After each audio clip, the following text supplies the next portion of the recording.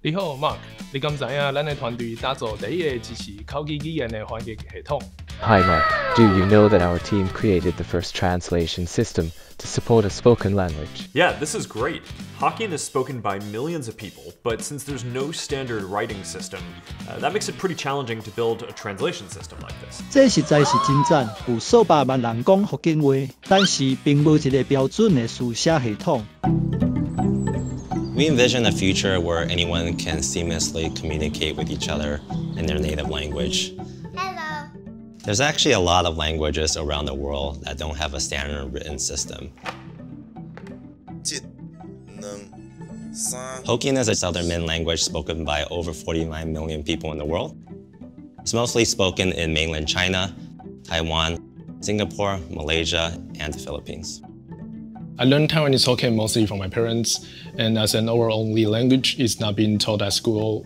It's passed down generation by generation from parents to their kids.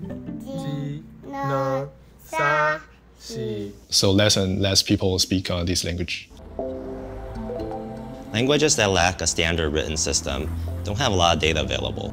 So what we did is we invested in ways to better identify these sources. We worked with institutions to gather new sources. We hope to open source this work so that others can also leverage what we did. Catch up, the word is actually from Hokkien. Catch up? Yeah, yeah. Wow. Whoa. 你好，Ann。Hello, Ann。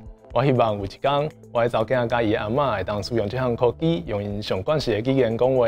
I hope one day my daughter and her grandmother can use this technology to speak with their most used language. By having this technology, my parents uh, can use their own language to communicate with anyone in the world in the most natural and direct way.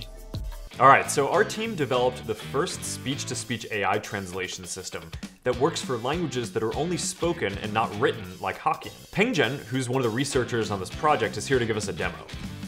你好，Mark。你敢知影咱的团队打造第一个支持口语语言的翻译系统？Hi Mark, do you know that our team created the first translation system to support a spoken language? Yeah, this is great. Hokkien is spoken by millions of people, but since there's no standard writing system, uh, that makes it pretty challenging to build a translation system like this.